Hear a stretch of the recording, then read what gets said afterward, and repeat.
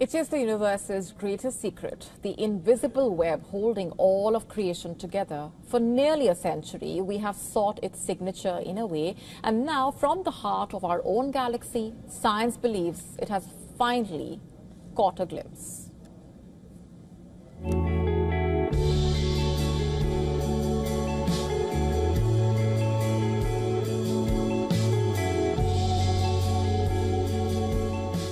A silent force fills the universe. We cannot see it, we cannot touch it. The search for dark matter has been one of science's greatest hunts, a cosmic detective story stretching across decades. We only know dark matter exists because of its crushing gravitational pull, forcing stars to spin faster than they should, acting as the invisible glue that stops galaxies from tearing themselves apart.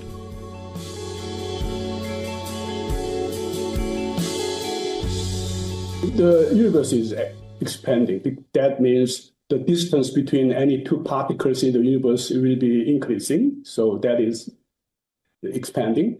And what has been found uh, 27 years ago is this expansion is accelerating. So the distance will be ever, ever will be ever increasing, and that has been in the standard model during the last 27 years. And so what caused this expansion? And so probably the imaginary dark energy is pushing uh, the old, older uh, you know, galaxies and the particles in the universe. But we still do not know the nature of dark energy. And now, a Japanese astrophysicist believes to have finally found the first direct clue, a strange burst of gamma rays, light from the darkest corners of the universe, possibly created by dark matter itself. The findings, published in the Journal of Cosmology and Astroparticle Physics, offer insights into the wild hunt for dark matter. Dark matter is universe's biggest mystery. It makes up 85% of all matter yet. It is invisible. It does not shine. It does not burn. It slips through planets, stars, and us like a ghost. And still, it holds galaxies together, shaping the cosmic web. Without it, the Milky Way would fly apart like sparks from a broken wheel.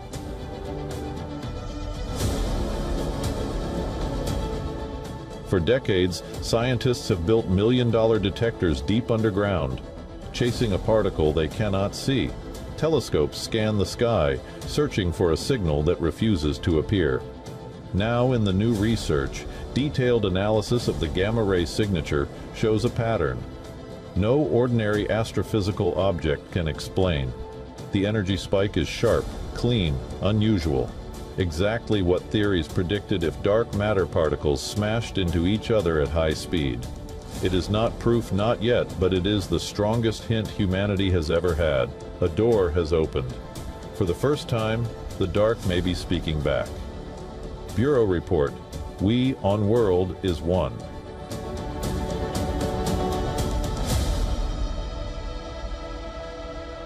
This Sunday, Switzerland will be voting on replacing men's current military service requirement with a compulsory civic duty for all. As part of Switzerland's direct democratic system, voters will also be weighing in on whether to slap new taxes on the super rich or help finance the country's efforts against climate change. Neither initiative is expected to pass, according to recent polls, but they have generated significant discussion in the wealthy nation. In fact, the Swiss government and parliament have urged voters to reject the two items, charging they would entail huge costs and could also threaten the economy. The so-called Civic Duty Initiative initially garnered quite a broad backing, but its support has crumbled in recent weeks, reportedly, with the latest survey showing 64% of those polled were opposed, and the committee behind the initiative maintaining that requiring every Swiss citizen, regardless of gender, to carry out national service in the army or in a civilian capacity would only strengthen the social cohesion. Today, able-bodied men in Switzerland must serve in the military or complete civilian service. Women volunteer if they choose. The proposal on Sunday would replace this with a gender neutral system that basically assigns every citizen a role military, civil protection, or social service. Supporters arguing this is not only fairer but also necessary. Switzerland's volunteer numbers have been falling and the military faces personnel shortages. They say women already contribute massively to unpaid labor, childcare, elder care, community work, and that formalizing civic duty could make the country stronger, more cohesive, and better prepared for crises. They say equality cuts both ways. If men must serve, women should too. Shared responsibility strengthens society, quote unquote. But critics are warning that the proposal adds more burden to women who already carry out the majority of domestic and care work. And then there's the price tag, of course. The Swiss government estimating a universal system could nearly double costs, overextend civil defense networks, and disrupt the labor, market, the labor market. Beyond the gender debate, the vote is also a test of how far Switzerland is willing to actually go in recalibrating national security. With conflicts in Europe squeezing military resources, some Swiss leaders are warning that weakening or reorganizing conscription at this moment could be risky. On the same day, voters also decide on another explosive proposal an inheritance tax targeting the ultra rich. What's the plan? A 50% tax on inheritances above 50 million Swiss francs with proceeds earmarked for climate action. Backers are saying Europe's wealth gap is widening and the richest households must fund climate adaptation. Opponents say the tax would drive wealth and capital out of Switzerland. Business groups are warning it risks destabilizing the country's carefully balanced economy, known for attracting global investment. Polls ahead of the vote showing both measures facing strong resistance.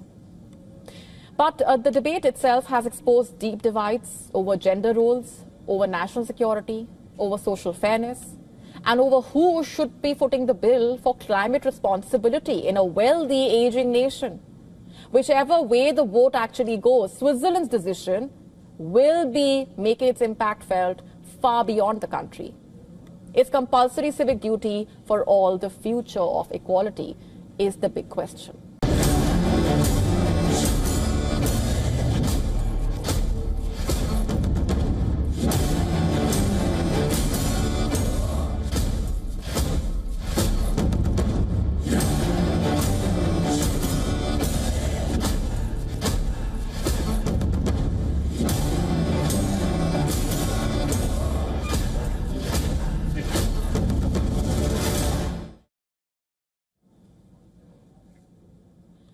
New Delhi and Moscow are reportedly firming up negotiations to add five more S-400 Triumph air defense systems, a move that would basically double India's current fleet and raise the total number of such systems to 10.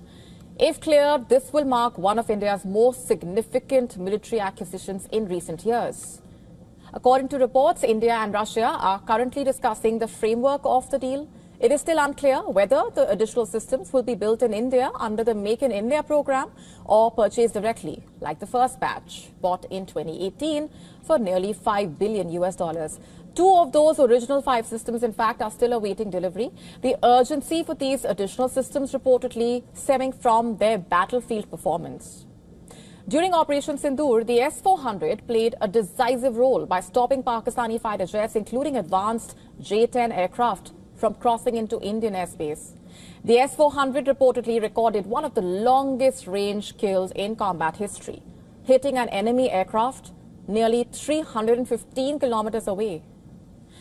Its rapid shoot and relocate capability also proved to be essential in avoiding counterstrikes. Air Chief Marshal recently called the S-400 the game changer of Operation Sindoor, stating that the system shot down at least five high technology fighters belonging to Pakistan, including jets in the F 16 and the JF 17 class. India reportedly wants the remaining two S 400 regiments delivered at the earliest and is exploring the purchase of five additional systems.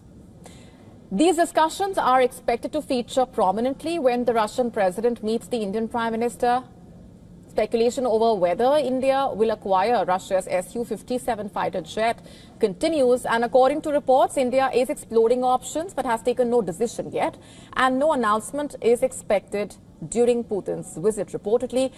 Also, reportedly, no firm negotiations underway at this stage. However, the Su-57 remains on the radar because of its long-range weapon-carrying ability, the jet's payload capacity and endurance, making it suitable for strategic strike missions. Of particular interest here is the air-to-air -air missile, which can hit targets more than 300 kilometers away. India is also considering integrating this missile with upgraded Su-30 MKI fighters.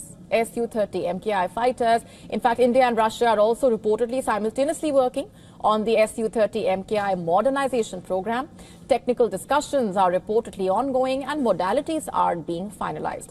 According to a Times of India report, India is poised to approve a 63,000 crore rupees upgrade package for the first batch of the of the first batch of 84 Su-30 MKI fighter jets, equipping them with improved radars, avionics, long-range weapons, and multi-sensor fusion. The upgrade aims to keep the aircraft combat ready for the next three decades.